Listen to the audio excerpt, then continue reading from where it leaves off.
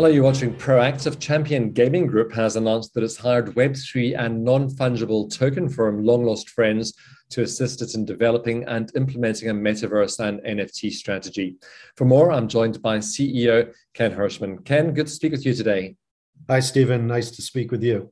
So, Ken, tell us more about Long Lost Friends and why you chose them specifically.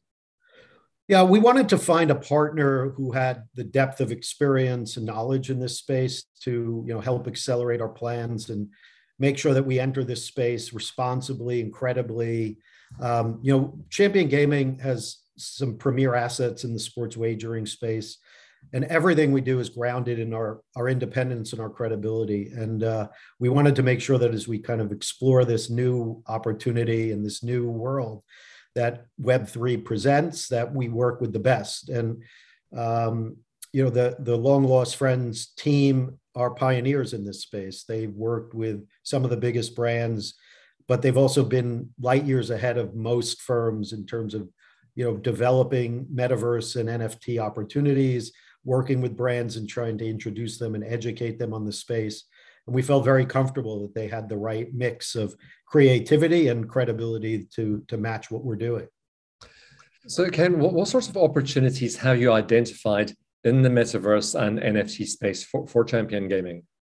Yeah, I think we feel much like everyone else that ultimately people will be doing in the in the web 3 world in the metaverse world everything they do in the physical world and and whether that's through avatars or other mechanisms. And um, you know you engage with your friends you engage with your family you you know you do commerce you do gaming.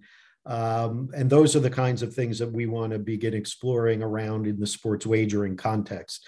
So with sports wagering it's a lot about information intake getting your picks and selections and strategizing um, you know building your fantasy teams and that kind of thing and you know, we expect that that will happen now in the metaverse quite creatively and, and easily if built right.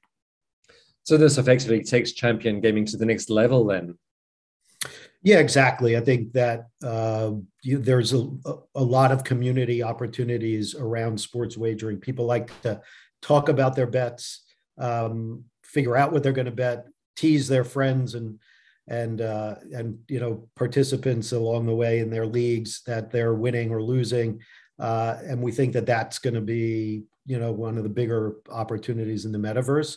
And what Champion Gaming does through its Football Outsiders and EdjSports platforms is give you those tools, those analytics, those you know pieces of content that are critical to making smarter decisions.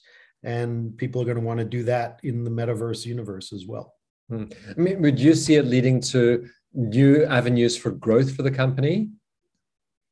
Yeah, for sure. I think that uh, we're going to be trying to, you know, build something that is a robust community that brings the opportunity for large scale uh, groups of people to come together, and we can monetize that audience through a number of initiatives, including NFTs, um, merchandise sales, obviously premium products for sports wagering and fantasy, and you know just um, the the general kind of advertising and sponsorship opportunities that mass audiences allow.